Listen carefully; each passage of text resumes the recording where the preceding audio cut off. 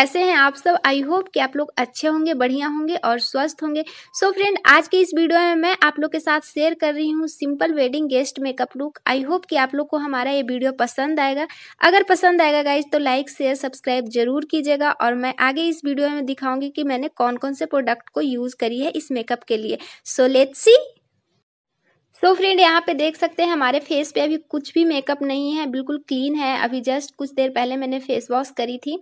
और यहाँ पे जो सबसे पहले मैं यूज़ कर रही हूँ गाइज़ वो है आयूर का टोनर जो कि काफ़ी ज़्यादा पुराना है। कुछ दिन पहले मेरे चैनल पे इसका रिव्यू भी डाली थी। और ये गाइज़ अगर आपके फेस पे कहीं पिंपल्स के निशान है या फिर सॉरी निशान नहीं बोल सकते पिंपल्स हो रहे हैं या फिर कहीं कट छट गए हैं गाइज़ तो आप नहीं लगाइएगा। थोड़ी सी आपको लाइक परेशानी होगी, बाकी ये टोनर अच्छा है।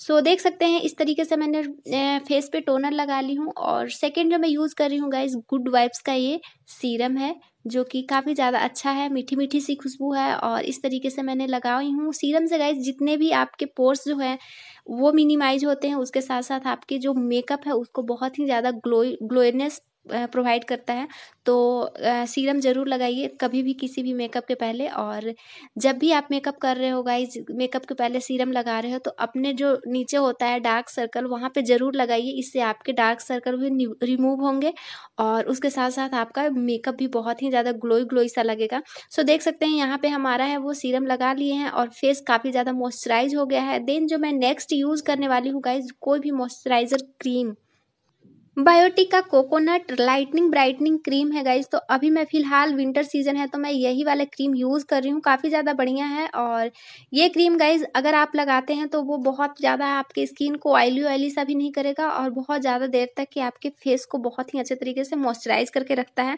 सो देख सकते हैं, इस तरीके से मैंने अपने फेस पर लगा ली और अभी जो हमारा है फेस बहुत ही अच्छे तरीके से मॉइस्चराइज हो गया है और विंटर सीज़न है गाइज़ क्योंकि जब तक कि हम अपने मेकअप के लिए बेस को कंप्लीट नहीं करेंगे इन द सेंस कि अच्छे से मॉइस्चराइज नहीं करेंगे तो हमारा जो मेकअप है वो बहुत ही ज़्यादा देर तक के नहीं टिकेगा।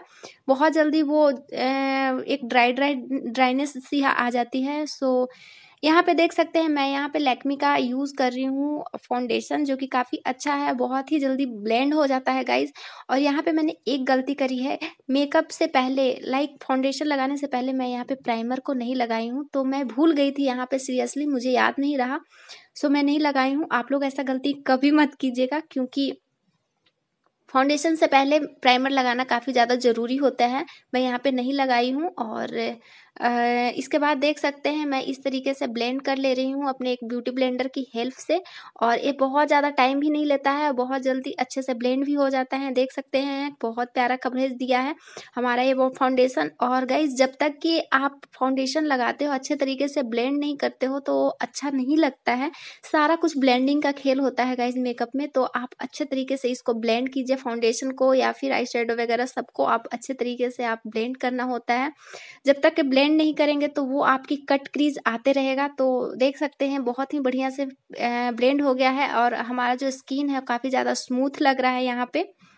You can see guys then इसके बाद जो मैं नेक्स्ट स्टेप करूँगी, वो रहेगा सो देख सकते हैं, मैं पहले बता दे रही हूँ आप लोग को।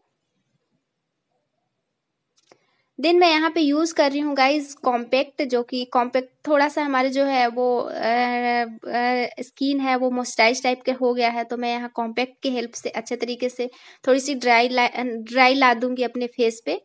और ये जो हमारा लैक्मी का कॉम्पैक्ट है विटामिन ई होता है गाइज़ तो आपकी स्किन के लिए काफ़ी ज़्यादा अच्छा भी है। तो आप ये जो कॉम्पैक्ट है, आप यूज़ कर सकते हैं। देन जो मैं नेक्स्ट यूज़ करने वाली हूँ वो है ये ब्रो देख सकते हैं। ये फ़ैशन ब्रो का आई आई पैलेट में यूज़ कर रही हूँ। इसमें टू कलर है गाइस तो मैं यहाँ पे डार्क ब्लैक वाला नहीं करूँगी, जो थोड़ी हल्के ब्लैक है, वो मैं करूँगी, क्योंकि हमारा जो आईब्रो है, वो डार्क ब्लैक में नहीं कर कर पाती हूँ उससे ज़्यादा मतलब ओवर लगता है मेकअप तो मैं सोची कि थोड़ी सी आ, ये जो मेकअप है वो ज़्यादा ना हैवी होने वाला है और ना ज़्यादा सिंपल है। मतलब अब मीडियम मेकअप है तो आ, मैं सिंपल मेकअप सेटल मेकअप करने वाली हूँ तो इसमें मुझे नहीं लगा कि एकदम काफ़ी ज़्यादा हैवी होना चाहिए। सो देख सकते हैं इस तरीके से मैंने आईब्रोज को फील कर ले रही हूँ इस तरीके से।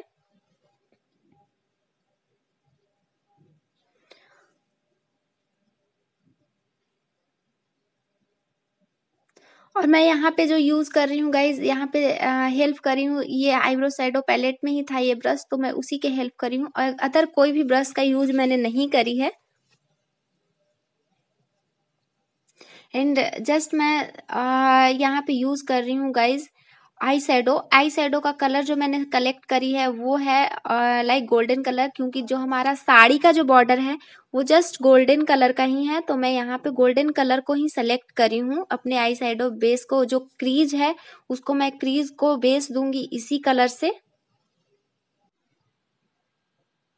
और मैंने जो ब्रश का यूज़ कर रही हूँ गाइज़ वो है अलग से ब्रश मैंने ये आई शेडो पैलेट का ब्रश यूज़ नहीं कर रही हूँ।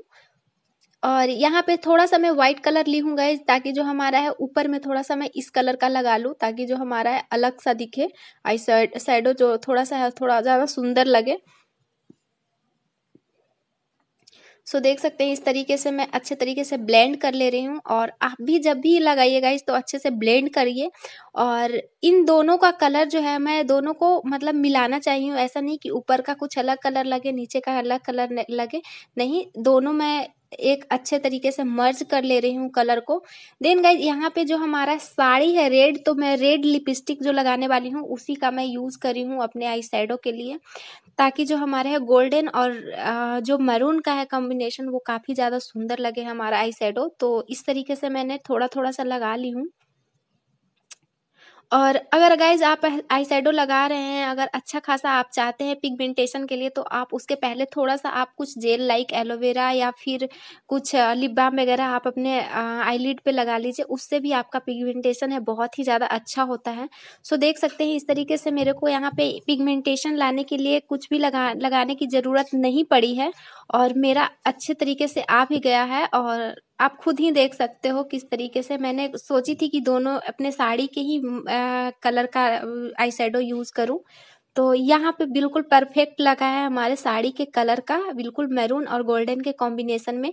तो आप लोग को ये हमारा कैसा लगा गाइज़ वो मुझे बताइएगा ज़रूर कि आई शेडो हमारा कैसा लगा। एंड थोड़ी सी मैं यहाँ पे व्हाइट कलर लूँगी ताकि जो हम अपने कॉर्नर में इस तरीके से रख सकूँ ताकि जो हमारा है और सुंदर लगे और और हमारा जो आई सैडो है, वो गाइज़ थोड़ी सी प्यारा लगे तो आप लोग को कैसा लगा हमारा आई सैडो कलेक्शन तो आप लोग मुझे कमेंट में ज़रूर बताइएगा।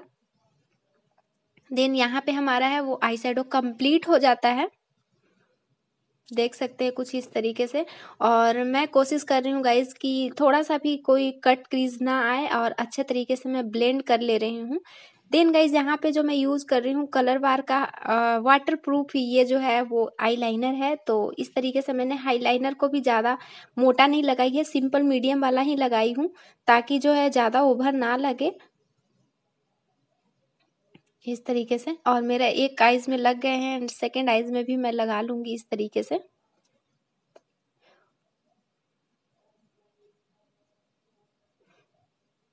और फ्रेंड जब भी आप अगर आईलाइनर लगा रहे हो तो कोशिश कीजिए दोनों मैच ज़रूर कीजिएगा।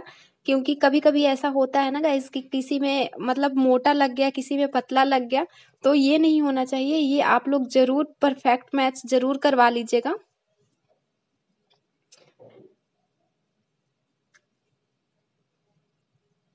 सो देख सकते हैं। अब यहाँ पे मैं यूज़ करने जा रही हूँ, वो है काजल, क्योंकि आईज का मेकअप हो और काजल नहीं हो तो वो अच्छा नहीं लगता है। तो और ऐसे भी गाइज़ अगर आप कितना भी आई वगैरह कुछ भी लगा लो, काजल नहीं लगता है तो वो जो लुक आना चाहिए वो नहीं लग पाता।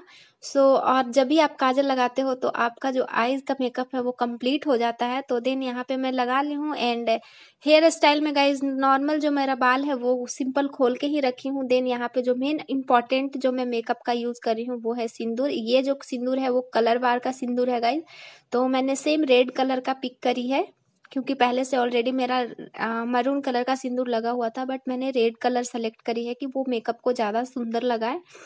देन यहाँ पे मैं कलर बार का लिपस्टिक यूज़ कर रही हूँ सेम कलर है और ये भी ये कलर मुझे काफ़ी ज़्यादा पसंद है गाइज़ मैं, ये कौन सा कलर है, इसका पे डिस्क्रिप्शन बॉक्स में लिंक शेयर कर दूँगी. सो काफ़ी ज़्यादा बढ़िया है और अच्छा लगा मुझे इसका लिपस्टिक कलर बार का ये वाला. एंड जस्ट मैं इसमें से थोड़ा सा अपने चिक पे भी लगा ले रही हूँ. क्योंकि चिक जो भी है थोड़ा सा मरून मरून सा लगे और कलर के साथ, क्योंकि कोई भी ड्रेस अगर आप पहने गए उसके साथ मुझे जो जिस कलर का रहता है, वो कलर का ज़्यादा सुंदर लगता है अपने चिक पे। तो यहाँ पे ऐसा नहीं कि आप ब्लैक कपड़े पहन रहे हो तो ब्लैक लगाओ, ऐसा नहीं है। बट हाँ जैसे आपको मैरून, पिंक वगैरह अगर कपड़े पहनो ना तो आप कोशिश कीजिएगा कि जो आपका चिक का कलर हो, वो थोड़ा सा उस टाइप का हो, क्योंकि ज़्यादा प्यारा, ज़्यादा सुंदर लुक देता है। अगर आप ब्लैकनेस वाले कोई भी कपड़े पहनो गाइज़ तो वहाँ पर भी आप रेड कलर डाल सकते हो, काफ़ी ज़्यादा सुंदर लगता है। एंड यहाँ पर मैं स्विच ब्यूटी का हाईलाइटर यूज़ कर रही हूँ, क्योंकि हाईलाइटर के बिना जो मेकअप है, वो ग्लोई ग्लोई सा नहीं लगता। तो मैं यहाँ पे यूज़ करी हूँ स्विच ब्यूटी का हाइलाइटर और देख सकते हैं, कुछ इस टाइप का जो ब्रश का मैं यूज़ कर हूँ गाइज़ थोड़ी सी ब्रश है, वो कर्व शेप में है, ताकि जो है, ये जो ब्रश होता है, वो कॉन्टोरिंग के लिए हाइलाइटर लगाने के लिए बढ़िया होता है तो मैं इस टाइप के ब्रश का यूज़ करी हूँ। और यहाँ पे जो है, हमारा हाइलाइटर भी अच्छे तरीके से लग गया है। और जो मेरा ओवरऑल मेकअप है, वो कंप्लीट से हो गए हैं। देख सकते हैं इस तरीके से। आप लोग को ये हमारा मेकअप कैसा लगा ज़रूर बताइएगा गाइज़ क्योंकि आप लोग कमेंट करते हो तो मुझे वाकई बहुत ही ज़्यादा अच्छा लगता है। मुझे लगता है कि आप लोग कमेंट आप लोग के एक एक लाइक मुझे बहुत ही ज़्यादा इंस्पायर करता है। सो so, यहाँ पे मैं यूज़ कर रही हूँ बिंदी और बिंदी मैं थोड़ा सा छोटा ही सिंपल सा बिंदी यूज़ कर रही हूँ क्योंकि मुझे प्लेन ही बिंदी ज़्यादा सुंदर लगता है। आप लोग ने गेस किया होगा, जितने भी मेरे पीछे के वीडियो है, मैं प्लेन बिंदी ज़्यादा यूज़ करती हूँ और यहाँ पे मैं यूज़ कर रही हूँ अपनी ईयर जो कि मैंने दिवाली की, में शॉपिंग करने गई थी, तब मैंने बाई करी है इन सारी ईयरिंग को। सो so, आप लोग को ये मेरा ईयरिंग कैसा लगा वो मेरे को ज़रूर बताइएगा। मुझे तो बड़ी प्यारी लगी गई आप लोग को कैसा लगा ज़रूर बताइएगा। और इसका जो डिज़ाइन है कुछ यूनिक टाइप का है और बड़ा प्यारा लगा ये सूट पे साड़ी पे सब पे बहुत ही सुंदर से लगे पहन सकते हैं। और किसी भी एज का अगर कोई भी पहनेगा लड़की हो या फिर मैरिड गर्ल हो कोई भी पहनेगा तो बहुत ही ज़्यादा सुंदर वाला लगता है। आप लोग को कैसा लगा मेकअप मेरे को ज़रूर बताइएगा। अगर आप मेरे को इंस्टाग्राम पे फॉलो नहीं कर रहे हैं गाइस तो आप मुझे वहाँ भी फॉलो कीजिए। मैं बहुत बढ़िया अच्छा वहाँ पे वीडियो लेकर के आती हूँ सारे एक्टिविटी का। और यहाँ पे हमारा है, वो मेकअप है, वो रेडी हो गया है। सो देख सकते हैं, इस लुक मेरा जो फाइनल लुक है। सो आई होप कि आप लोग को अच्छा लगा